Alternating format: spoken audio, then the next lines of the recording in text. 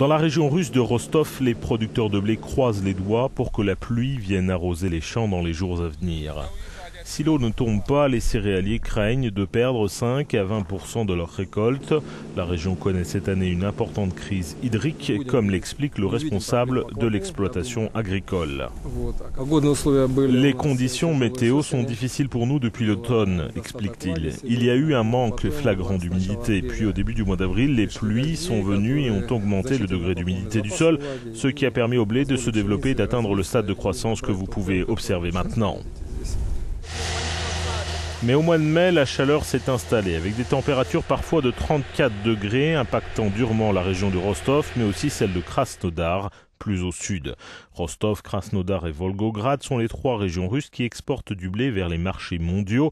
Elles livrent principalement l'Afrique du Nord et le Moyen-Orient via la mer Noire. Les céréaliers ont aussi été confrontés à la forte chute du rouble, la monnaie russe, face au dollar en 2014. Car si d'un côté elle favorise les exportations de grains, de l'autre cela augmente les dépenses en biens d'équipement.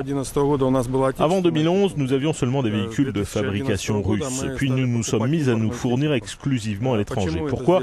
Parce que ces véhicules sont plus puissants et ils nous permettent aussi de faire des économies sur le carburant, les lubrifiants et les pièces de rechange. Cette année, les précipitations ont été bien inférieures à la moyenne depuis 15 ans. Avec 20 mm de pluie en plus, la récolte de blé pourrait atteindre 2,5 tonnes par hectare, estiment les spécialistes. Sur les marchés internationaux, cette fragilité et cette incertitude a provoqué une légère hausse des prix du boisseau de blé, d'autant plus que la situation aux États-Unis n'est pas meilleure.